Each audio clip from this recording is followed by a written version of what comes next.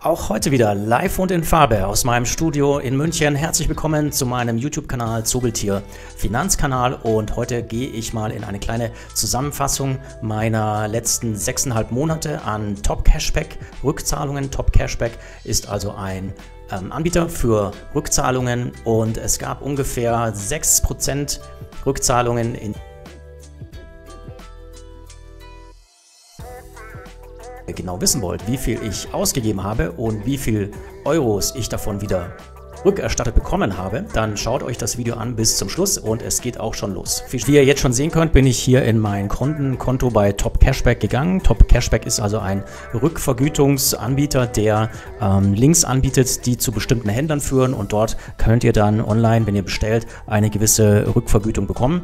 Dabei müsst, muss beachtet werden, dass also die Cookies, die Affiliate-Cookies hier aktiviert werden. Und wie sind jetzt meine Erfahrungen der letzten circa sechseinhalb Monate? Ich habe also im August August 2022 damit angefangen und kann sagen, ich habe mittlerweile äh, gesammelt gehabt 88,34 Euro Cent und davon habe ich mir sogar ähm, auszahlen lassen 52,62 Euro. Man kann es hier selektieren. Meine Hauptkäufe waren hier bei den Händlern Otto und Booking.com beziehungsweise ähm, der Flexispot ist ein Anbieter für Produzent für Schreibtische und dort habe ich also meine größten Summen, Tätigkeiten äh, gemacht und online bestellt. Wie viel ist denn jetzt dabei rumgekommen? Ich habe das mal in meiner Übersicht zusammengefasst.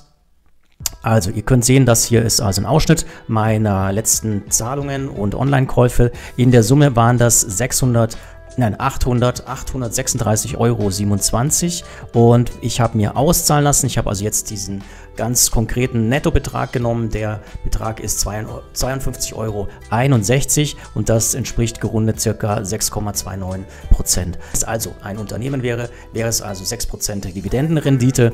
Wir sagen das einfach jetzt mal Rückerstattung hier heute und ich kann sagen, es gibt aber auch Nachteile. Also Vorteil ist natürlich, der größte, beste Vorteil ist, ihr bekommt eine Rückvergütung von eurem Online- Kauf und ähm, Bezahlung, die ihr gemacht habt und erhaltet einen Geldbetrag zurück. Das ist der, der größte Vorteil. Schon mal abgehakt.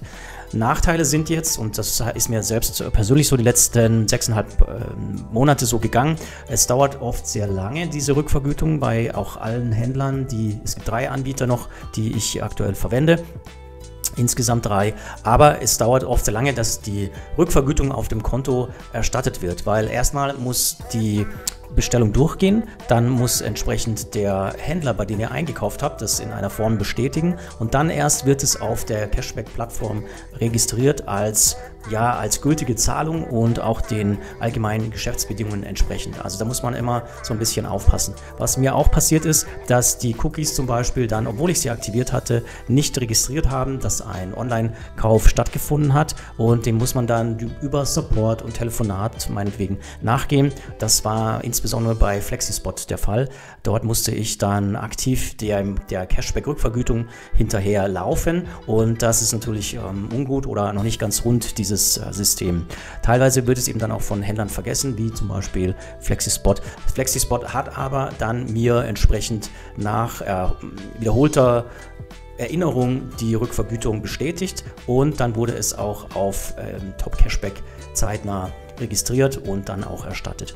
Also es ist die Erfahrung von mir durchwachsen, aber schreibt mal eure Erfahrung in die Kommentare und ich kann nur sagen, ja, yeah, 6% ist eine schöne Summe, ist jetzt nicht viel. Wenn ihr noch viel mehr online einkauft, als ich das tue, die letzten Wochen und Monaten getan habe, dann könnt ihr natürlich jetzt gerne ein äh, Cashback Konto eröffnen. Ich packe die verschiedenen Links von meinen Anbietern, das ist einmal Top Cashback, um einmal Schub und Get More, die ähnliche äh, Bedingungen haben, äh, in die Videobeschreibung und dann könnt ihr unten Accounts erstellen und auch selbst in den Genuss von Cashback-Rückvergütungen kommen. Also das System ist noch nicht ganz rund. Es ist zu empfehlen, man kann durchaus ein bisschen Euros zurückbekommen von seinen Ausgaben, die man getätigt hat.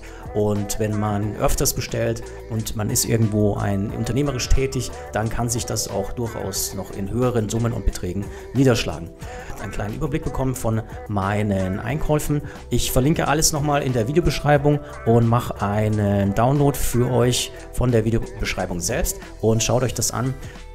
Und wenn ihr auch noch wissen wollt, wie man mit Aktien, wie zum Beispiel mit dem BDC-Unternehmen Main Street Capital 7% Dividende erwirtschaften kann, dann schaut euch das Video unten noch an, das ich verlinkt habe. Und wenn ihr wissen wollt, wie man eine Vermögensbilanz erstellt, dann geht mal zu meinem Video und der Videobeschreibung mit dem Excel-Download, dann könnt ihr euch dort kostenlos die private Vermögensbilanz direkt selbst kinderleicht durchführen. Viel Erfolg dabei und ciao, ciao, bis bald zum nächsten Video.